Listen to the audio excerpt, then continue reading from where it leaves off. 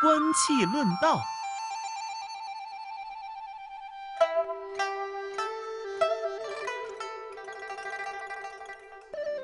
有一天，孔子到鲁桓公的庙堂参观，看到了一件异于青岛之器。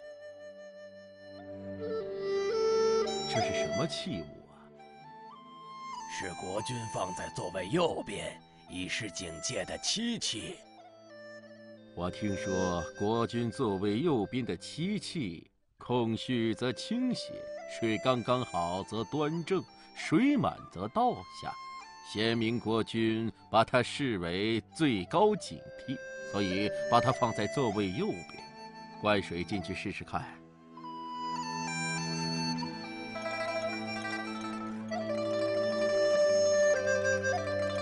倒吧。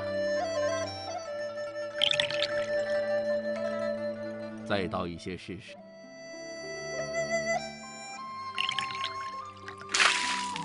哎，哪有东西盈满而不倒呢？请问保持盈满有什么方法？智者以愚蠢保护自己，功高者以谦让保护自己，勇者以懦弱保护自己，富者以谦卑保护自己。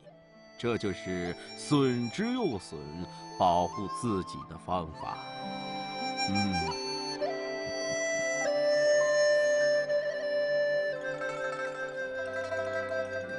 观气论道。